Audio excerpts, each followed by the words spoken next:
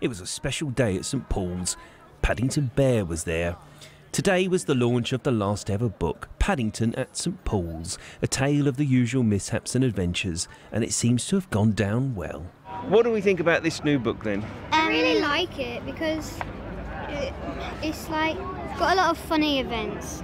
A lot of funny events. Hmm. Is that because Paddington's quite funny then? Yeah.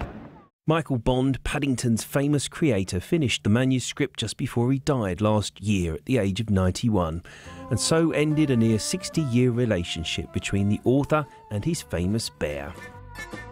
Often you'd be somewhere and he would start talking about Paddington being involved there, and you knew that something else was, was going on.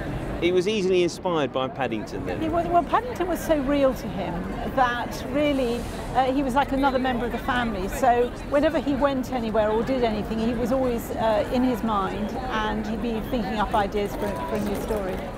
And over the years, there's been a few surprises too. There was the time when the bear from deepest, darkest Peru took the Duchess of Cambridge for an impromptu spin. Then the time the famous marmalade eating bear switched to Marmite, briefly. And it was here in Selfridges on a cold Christmas Eve in 1956 when Michael Bond popped in to warm up and saw a lonely teddy bear in the toy department. He bought it and he gave him to my mother for Christmas. And uh, they were living near Paddington at the time, and my father really wanted to be a writer. He was always looking for inspiration. And he remembered the name Paddington, and he saw this bear sitting on the mantelpiece, and he put the two things together one day. It was a simple moment that created a character that will live on forever. Jim Wheble, BBC London News.